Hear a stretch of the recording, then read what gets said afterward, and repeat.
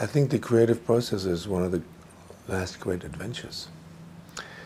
And and I'm just as much interested in the craft. And well, Pina is of course is considered a great artist, but there's a craft behind it, and there's a craft in designing fashion, and there's a craft in building a house. and I'm really fascinated to find out about how these crafts work and what imagination you put into it and what how somebody shapes a language of his own. I discovered Pina Bausch's work at a moment when I thought dance is not for me.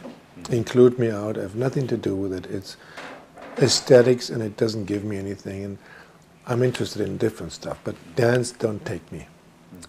And I really tried hard not to go. My, my girlfriend really twisted my arm and finally just dragged me to this double bill of Pina Bausch, Café Müller, and Sacre Printemps. And there I sat and uh, weeping because I realized I was shown something in 30 minutes. Café Müller is just 35 minutes. In 35 minutes, without a single word, it is condensed everything I'd ever seen about men and women and was more. 3D was a very privileged way to enter choreography and understand the architecture of this work. Even a little bit more privileged than just sitting there in the audience, which is a royal way to see dance, to being there. Mm-hmm.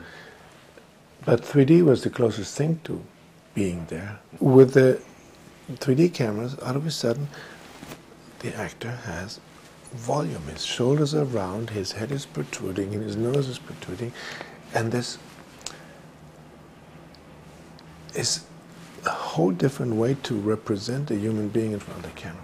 There's a presence that nothing that we ever did before in a hundred years can touch.